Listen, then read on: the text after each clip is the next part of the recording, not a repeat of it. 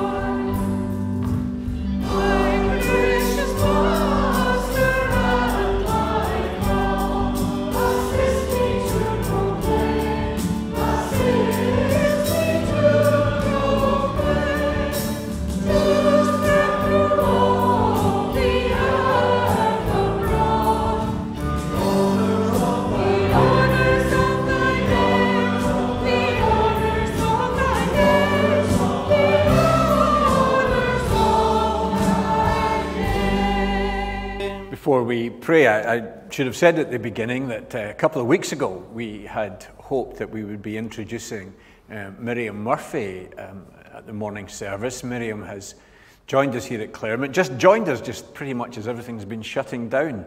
But Miriam's going to be working as children, young person, and families worker And Miriam is taking part in the service today in the reading and in the prayers for others.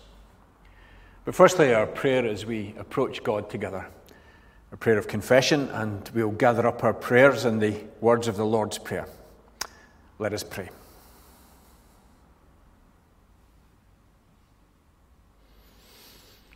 Lord, how heartening it is, how good it is for us to know that you're a God who would gather up your people.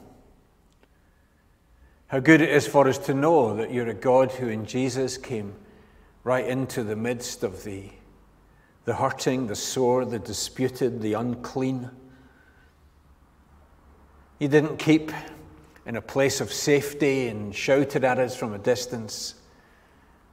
But uh, you, Jesus, you showed yourself to be the God who embraces us, even in our soreness, even in our hearts, even in our uncleanness.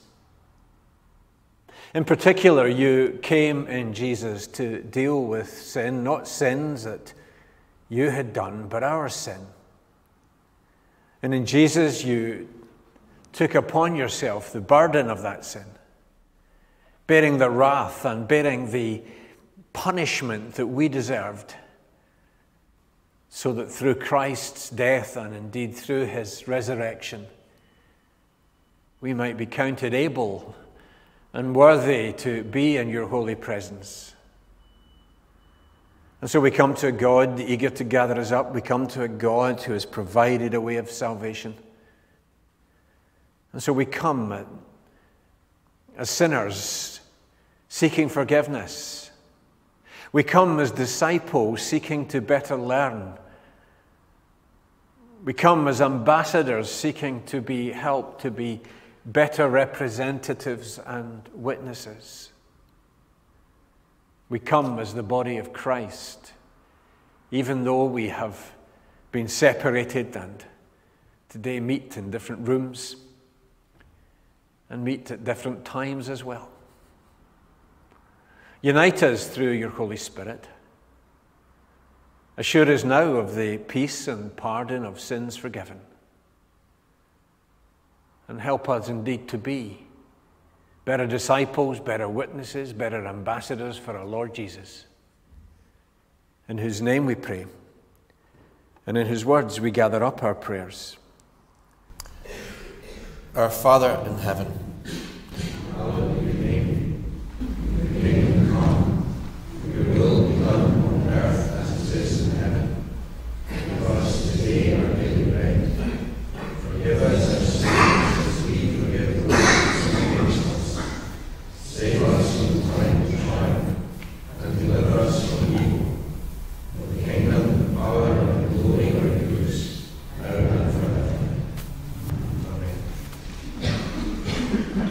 Gospel according to Mark, Mark chapter 5, verses 21 to 43.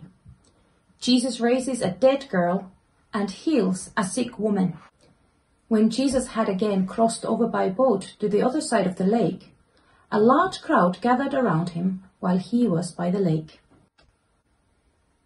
Then one of the synagogue leaders named Jairus came, and when he saw Jesus, he fell at his feet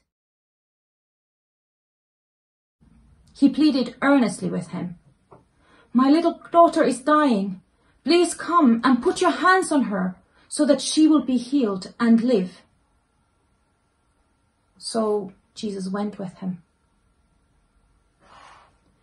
A large crowd followed and pressed around him.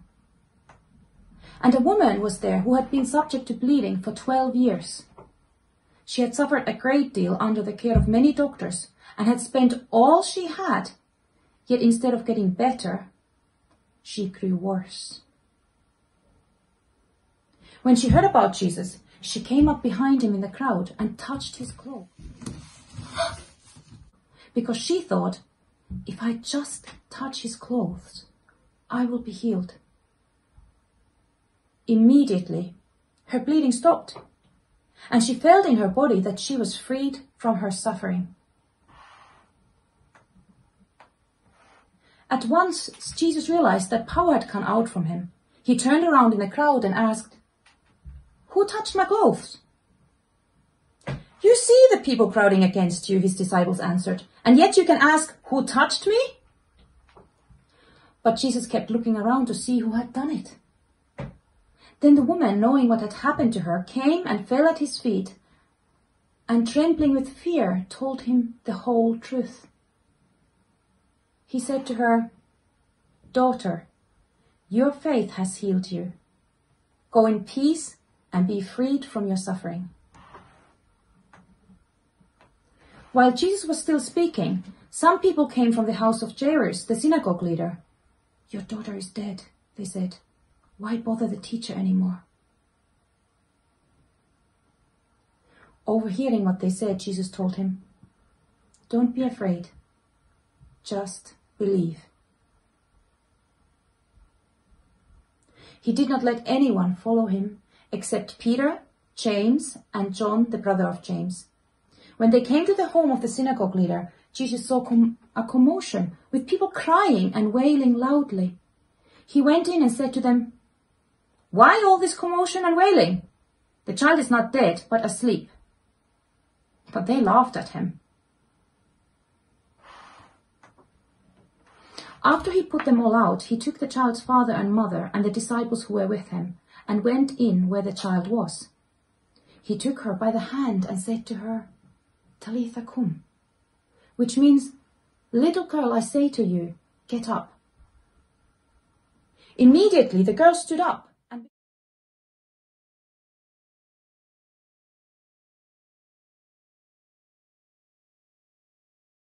began to walk around. She was 12 years old. At this, they were completely astonished. He gave strict orders not to let anyone know about this and told them to give her something to eat. Amen. This is the word of the Lord. Well, you can imagine as Jesus stepped into those uh, situations, as Jesus, you know, um, spoke to that woman and brought her out in front of the crowd, as Jesus um, visited Jairus' house with his recently deceased daughter lying there. There'd be lots of a whole range of emotions and feelings going on at the time, but not least there would be fear about what's happening and why it's happening. That has often been the position that the people of God have found themselves in. And at times like this, we should hear again the words of God. And this time, the hymn based on words through the prophet Isaiah Do not be afraid. We'll sing together.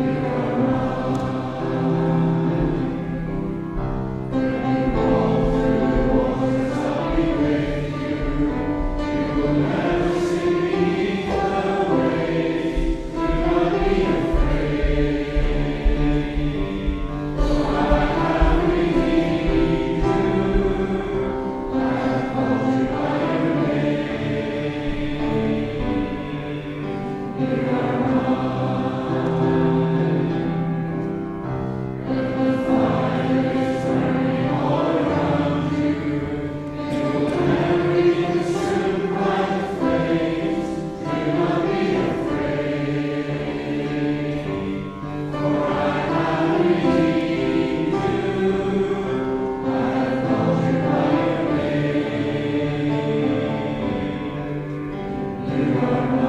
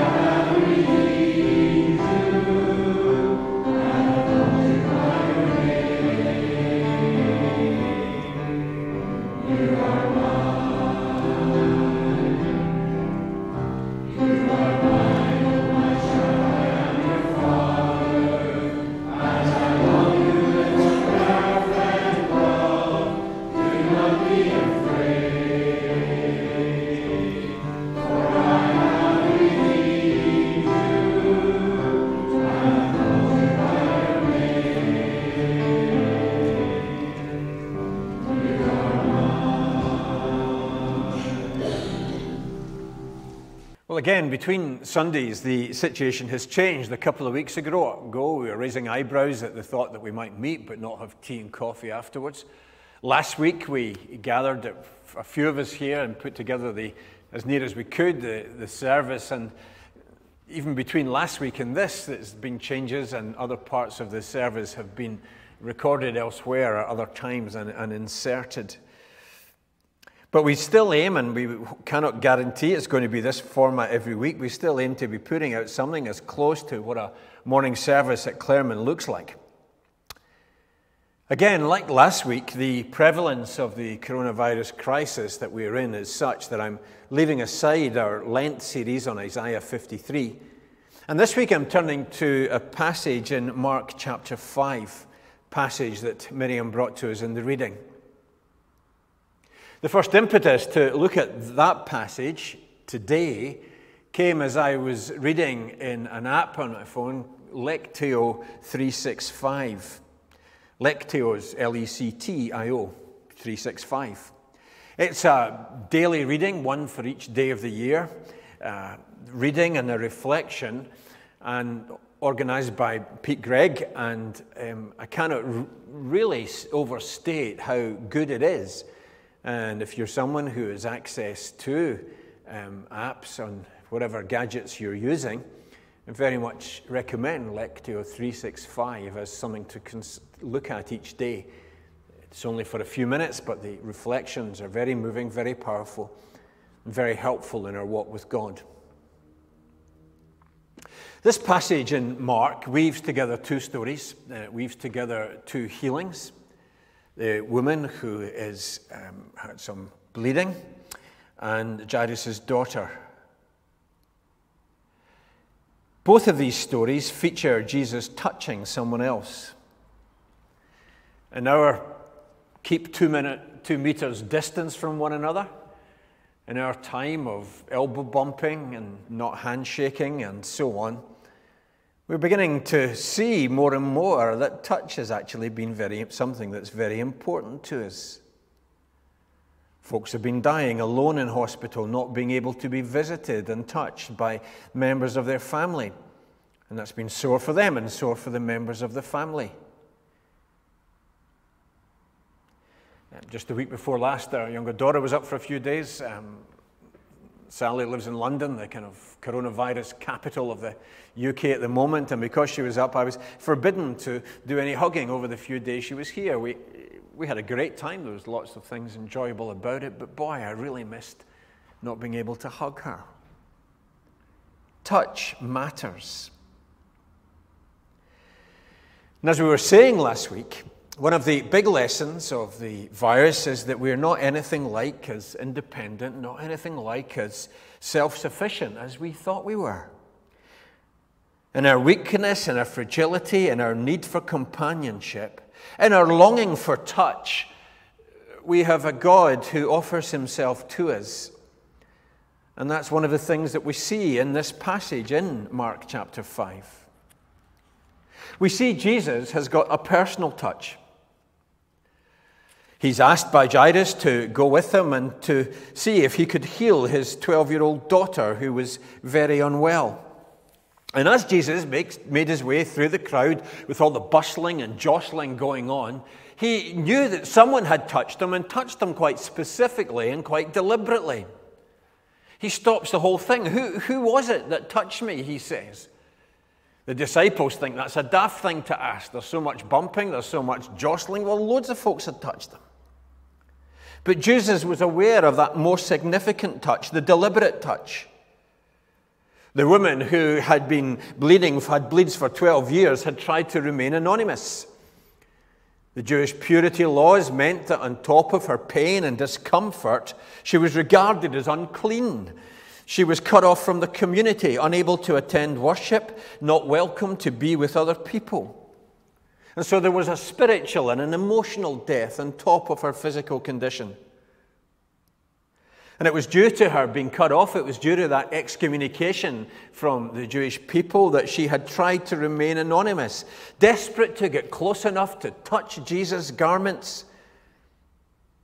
And then she'd hoped, after she had done that, verse 28, that she could slip away But Jesus called her out into the open.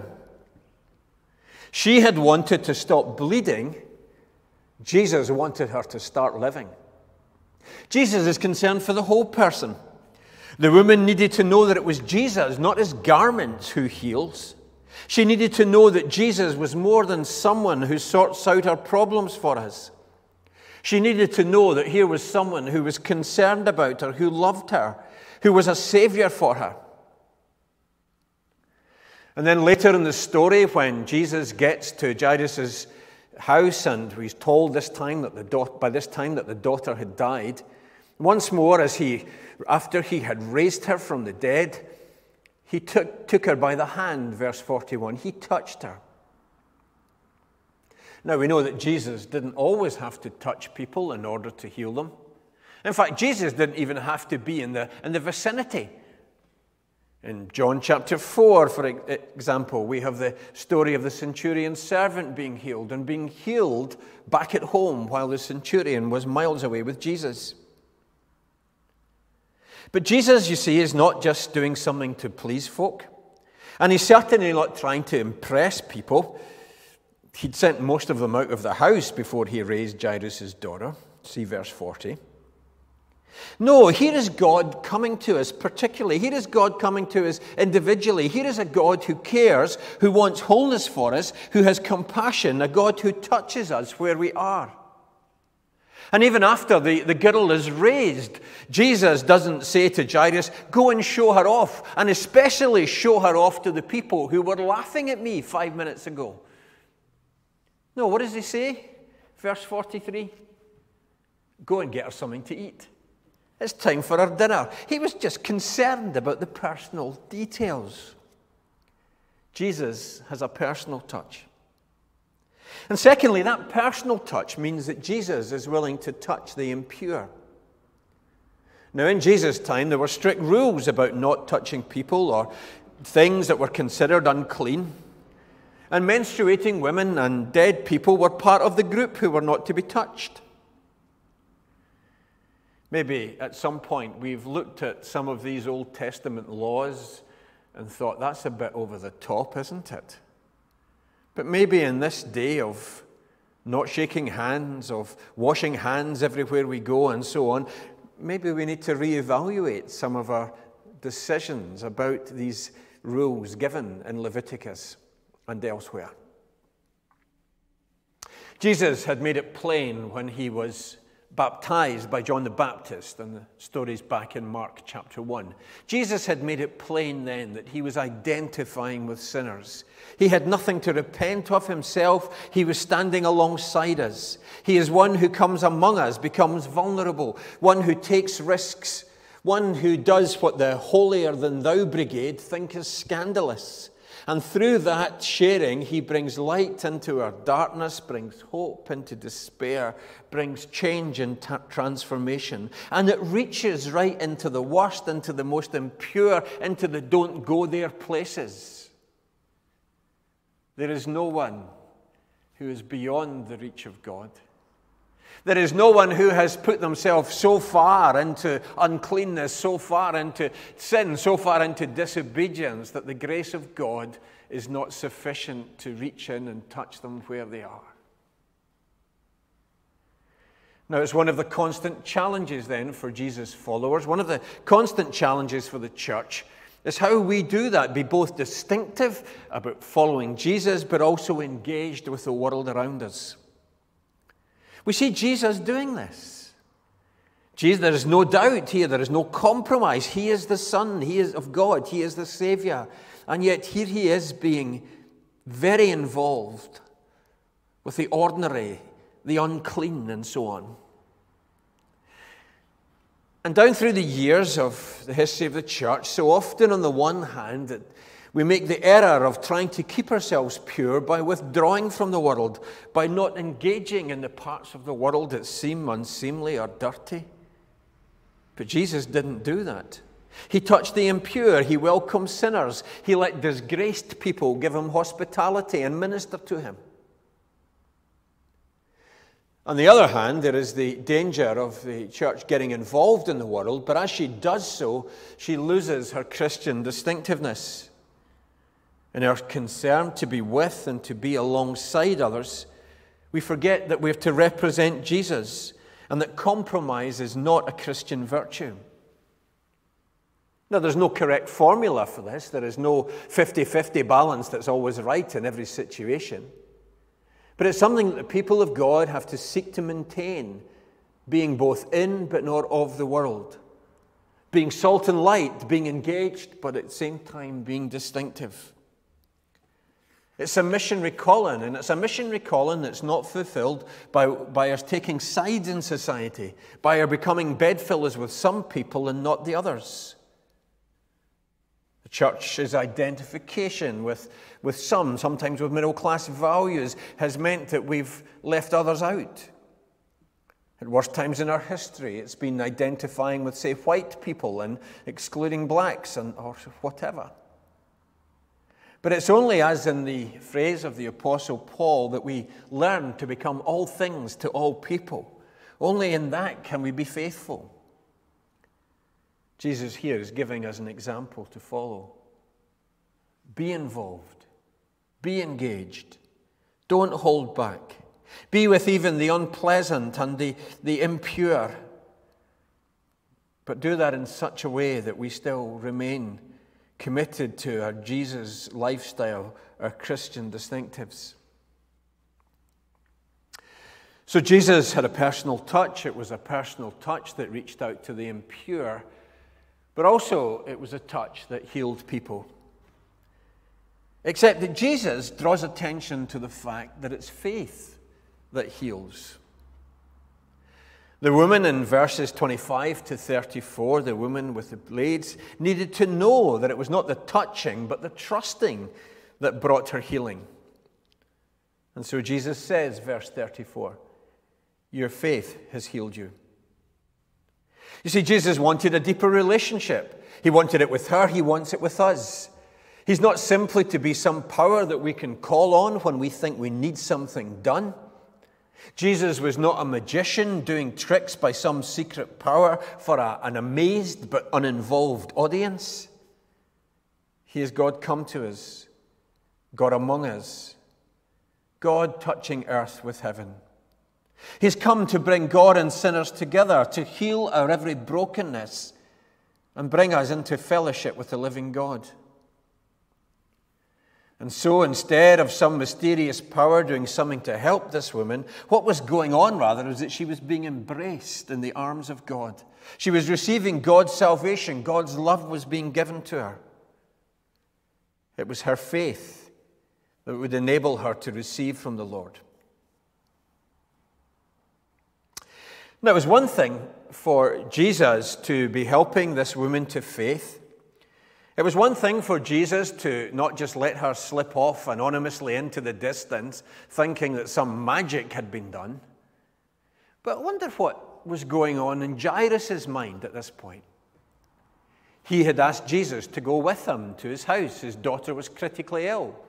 Jesus agreed, and so they, they, they set off. But uh, then Jesus stops. Then Jesus not simply has this woman made better, but he calls her out and has a conversation with her. And all the time, poor Jairus must be thinking, yeah, but my daughter's really ill. my daughter is dangerously unwell. Jesus, this isn't a time for a wee chat. This is a t- get the blue lights going, get the sirens on. We need to hurry. And it must have been a real test of, Jesus, of Jairus' faith that Jesus wasn't rushing the way he would have wanted to. And then his faith was tested further when, verse 35, came the word that this daughter had died. And now it seems too late. But yet Jesus is still going down the road with Jairus. Maybe it would have been better, Jairus is thinking, if Jesus hadn't blethered for so long.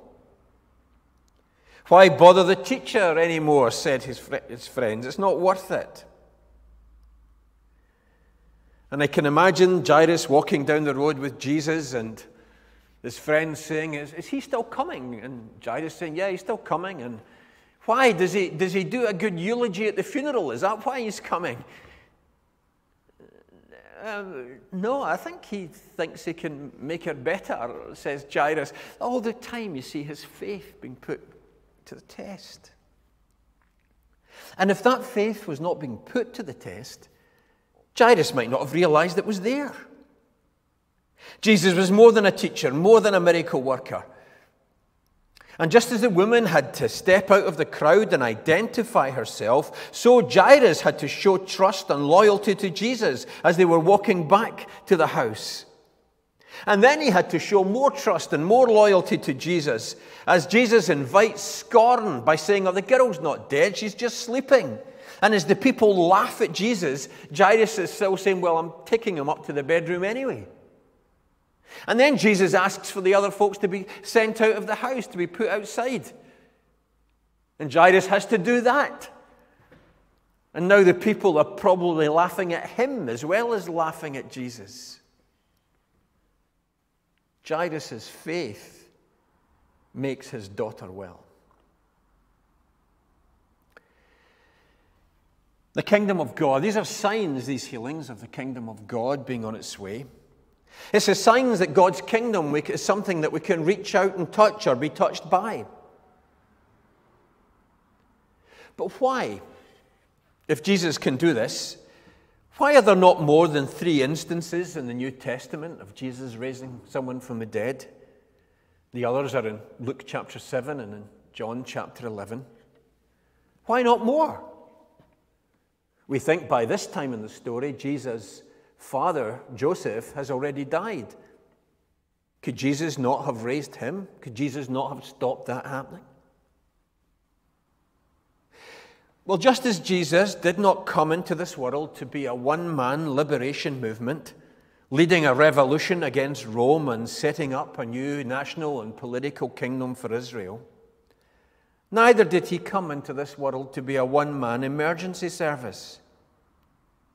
Yes, he was bringing God's healing power, but his aim went deeper. Illness and death being overcome were but signs of the real revolution, the real healing that God was to accomplish through Jesus' death and resurrection. Jesus is ushering his people into a new promised land, this time a land that is entered not by crossing a river, but through faith. He is enter- uh, inviting his people to follow him into a salvation that will be complete, but only for those who accept the first tastes, the first fruits, that receive Jesus through faith. Like the woman and like Jairus and Mark 5, we have to let Jesus do his work in us. Only if we see and receive Jesus' work in all its dimensions will we understand that behind the intense and intimate dramas of each story, there lies a larger and darker theme to which Mark is drawing our attention. A conflict that's only going to be settled through the death and resurrection of Jesus. Jesus is on his way to meet with death and evil, the things that threaten God's wonderful creation. He is on his way not just to meet them, but to defeat them, and defeat them in a way that was as unexpected as these two healings in Mark 5. And as he does so, he is living out God's love for us. He is living out the touch of God. He is living out the care for the impure. He's bringing to light the tenderness of God in caring about us and caring for us. That doesn't mean that all of our immediate needs are necessarily met. It doesn't mean that God is going to sort things out for us according to how we see things. But it means that by establishing the basis, the ground for His kingdom to come, His work to be done on earth as it is in heaven, He's giving sign of what that kingdom will bring. Mostly, that kingdom brings love. Love which issues in our salvation. A love that cares and acts and transforms. A love that is now realized and tasted and experienced through faith. And so, in this time of face masks, elbow bumps, foot taps, two meter distance between people, Jesus still wants to come to us, to meet us face to face, and to touch our lives. And even when life crowds around us with all its pressures, just as people were crowding in around this woman and people crowding in around Jairus' house, even when things are piling in and getting on top of us, there is still room for us to creep or crawl to Jesus if that is all that we feel we can do. There is still opportunity now to reach out and touch him in that odd mixture of fear and faith that characterizes so much of the people of the New Testament and so much of Christian discipleship today. And the good news is that Jesus is ready to receive. Jesus didn't scold the woman for not standing, um, not coming to him openly. He didn't give Jairus a hard time as he waited and fretted. No, Jesus is ready to receive, ready to give, wanting our healing and wanting our faith to grow so that our entry into his kingdom is all the more full. He wants us to be sure of his love and sure of his welcome. And that knowing that we are loved and being sure of his welcome is something that we only discover when we trust. Trust even when things are looking bleak. Even when we've tried and tried and tried again, as the woman in the story had over the 12 years of her illness, she had tried everything to get better. But, verse 26, she just grew worse. Even when things get like that, even when things look like they've gone all pear shaped, even when it looks like it did for Jairus' daughter, as though it's been a missed opportunity, a, a too late. In the economy of the kingdom of God, it is not too late. It is never too late for us to show faith and trust. Let us pray. Gracious God, we thank you for the way that you come time and again into people's lives. The way that you ch- touched and changed lives there back in the New Testament, and the way that you've been touching and changing lives of your people ever since. We give thanks for the way that you still touch and change and transform lives even today. And might that give us confidence to come to you, confidence to be open with you. Might we realize and recognize, as the woman found out in the story, that we can't hide things from you? Might we learn, as Jairus had to do, to, to wait upon you and wait for you? And Lord, might we find in these times our trust growing, our faith blossoming. Lord, not just for our sake, but for your glory. Amen.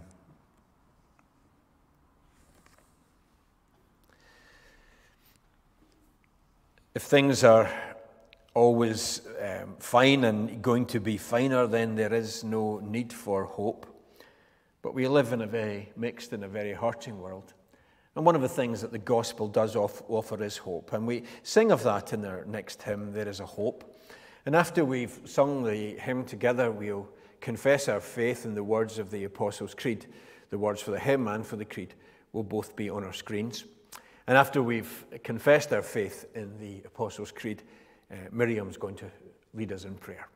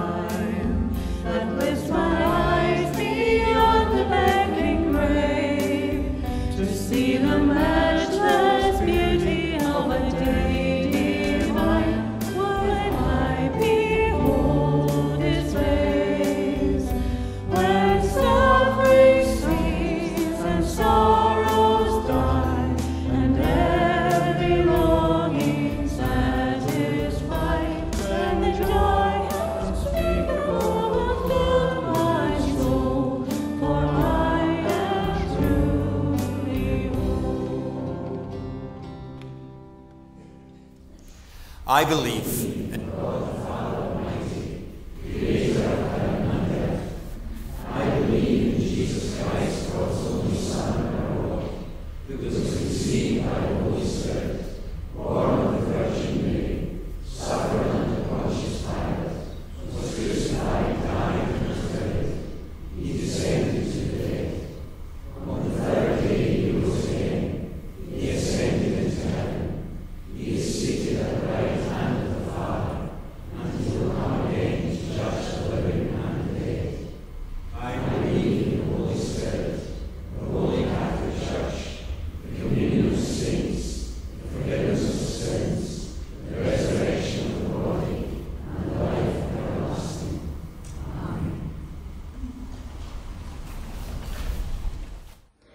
Let us pray for our communities, for our church, and for each other. Father, at this time of turmoil and uncertainty, we look outside of ourselves to others, others who perhaps do not know you as their source of strength and comfort as we do. Father, be merciful to us, to our families, to our neighbors, and to our country. We bring to you in prayer the decision makers of this country at this time of extraordinary challenges in business and in politics. Be close to those who are needing to make decisions, who represent us in our governments and give them wisdom. Help them to turn to you and let them be guided by you in your mercy. Let them know you are near to all who call upon you and seek your face, no matter what their past or their former commitment to you has been.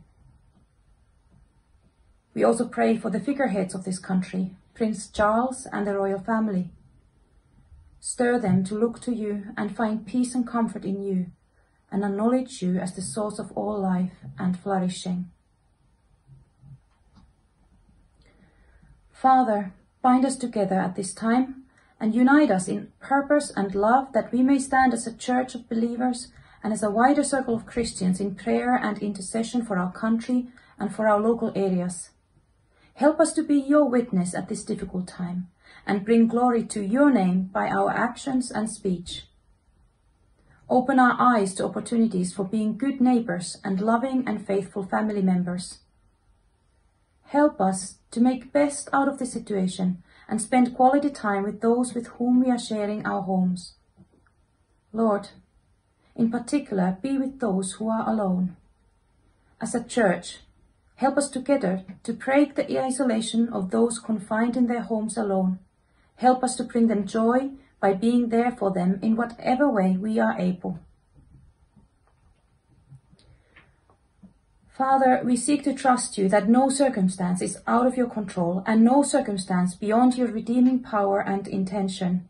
That in all things you are triumphant and your kingdom victorious.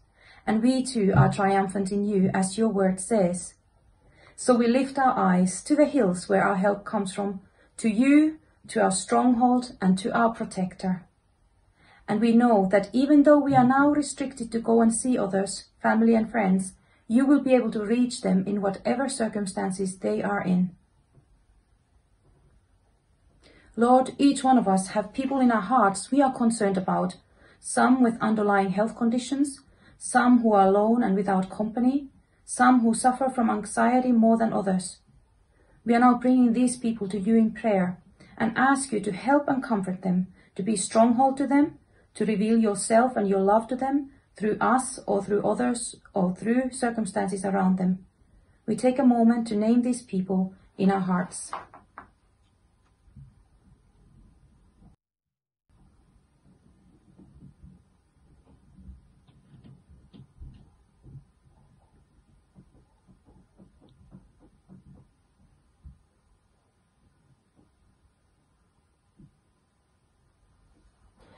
Our hearts also go out to those who due to this situation suffer financially, feel insecure as how they will make their living and how they are to feed themselves and their families and pay the bills. Father, open up avenues of income and financial provision for those whose everyday life has been thrown into jeopardy, and help us as a church and as individuals be mindful of this kind of suffering that has come to many through this situation. Help us to see the need and respond to it when we see it around us. Father, in all this, we give you praise as we know you're the same God throughout the ages, yesterday, today, and tomorrow, dependable and faithful. You have written in your word that we are to rejoice in all circumstances. So even in this, we lift our hearts to you in thankfulness and rejoicing, rejoicing in your faithfulness and in your goodness to us and to all life on this planet. Amen. Just before we come to our closing prayer, just a reminder that um, we're pretty much shut shop, nothing on during the week except that we, we will be sending out whatever messages we can on, on email and the like, and we do encourage you to, to share these as best you can, especially with those who are not got access to the internet. Also, to say that this week we've incorporated a, a leaflet about prayer that is on the screen. Um, usually, when we gather on a Sunday morning, we've made the offer if anyone wants prayer, there's people after the service here to, to do that with you. Um, so, as an alternative to that, um, here is the opportunity to send us prayer requests, and those who are on the prayer rota, who are on that prayer team, will be more than pleased to share in that ministry by praying for us. Not this coming week, but the following week is, is Holy Week, and from Monday to Friday, we will be having our Holy Week services. But of course, not having them here at Claremont, we were putting together services, and they will appear on the website through that week, um, 7 o'clock, from Monday the 6th through to Friday the 10th of April. Just before I came out today, I had uh, noticed that um, the death of one of our members at Claremont, of Jean Anderson, um, Jean of Glen Bervie, um, and do ask you to remember Jean's family in your prayers. And then we conclude our service by singing Bless the Lord, O my soul. And after we've sung that hymn together, we'll finish with the, the words of the grace, which, like again, will be on the, the words will be on the screen. Mm-hmm.